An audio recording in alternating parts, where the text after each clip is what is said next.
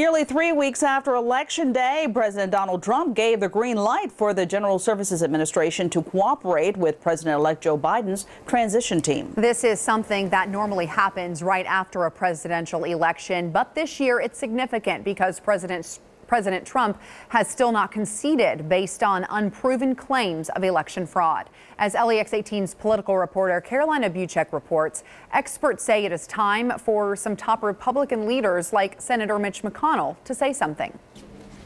A few days after Election Day, Senator Mitch McConnell confirmed that there would be a peaceful transfer of power if Joe Biden won the election. We've had a peaceful transfer of power going back to 1792 every four years.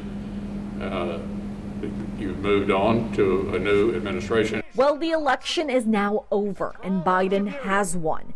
And while President Donald Trump has recently cleared the way for the formal transition of power, he specified that his team is still moving full speed ahead with their legal challenges and, quote, will never concede to fake ballots. Election law experts like UK professor Joshua Douglas say this type of rhetoric needs to stop for the sake of democracy. To make up lies about widespread voter fraud without evidence, to call the election into question when this really wasn't a close election, uh, really is disgraceful in terms of accepting one of the basic tenets of our democracy, which is that the losers graciously accept defeat. And pressure is mounting on other top Republicans like McConnell to speak up and publicly accept that Biden won. So I'm concerned about McConnell's silence, which to me is really deafening in what it says about his views over uh, the health of our democracy as compared to just his desire to hold on to political power.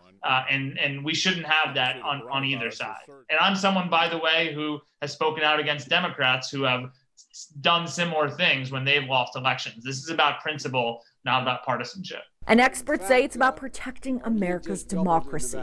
In Lexington, Karolina Buczek, LEX 18 News.